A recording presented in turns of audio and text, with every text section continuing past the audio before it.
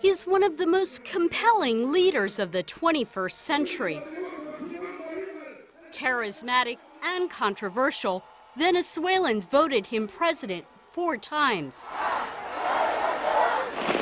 Hugo Chavez burst onto the national stage as a paratrooper who led a daring coup against then President Carlos Perez. The coup was a failure and he spent time in prison.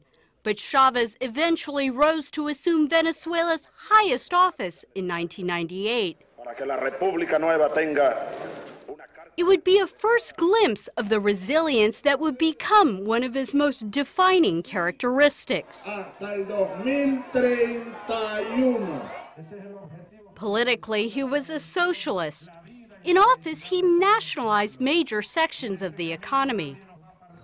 While his critics accused him of squandering the country's oil wealth, his populist message resonated with the country's poor.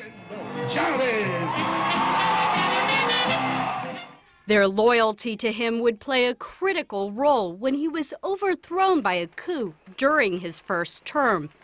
Within 48 hours, his supporters and his former soldiers swept him back into office. He credits Cuban President Fidel Castro, a close friend and mentor, with influencing his views and leadership style. Chavez's circle also included Libya's Muammar Gaddafi, an Iranian leader, Mahmoud Ahmadinejad. Like Chavez, all fierce critics of the United States.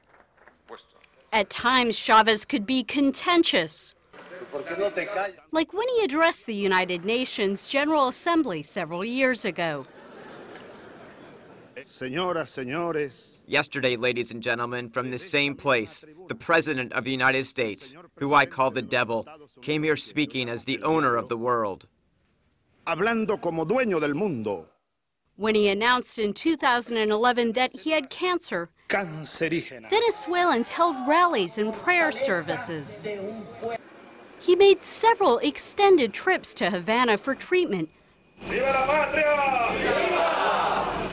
claiming on at least two occasions that he had beaten the disease. He was, as always, determined. They're thinking that Chavez is through. Chavez is not through. What's more, and what I'd better tell you, when this body really gives out, Chavez will not be through because I am no longer Chavez. Chavez is in the streets and has become the people and has become a national essence, more than a feeling, a national body, national soul, and national weapon to keep fighting for Venezuela. In his last year, Venezuelans also saw a different, more vulnerable side of him. At one Mass, he begged God for more time.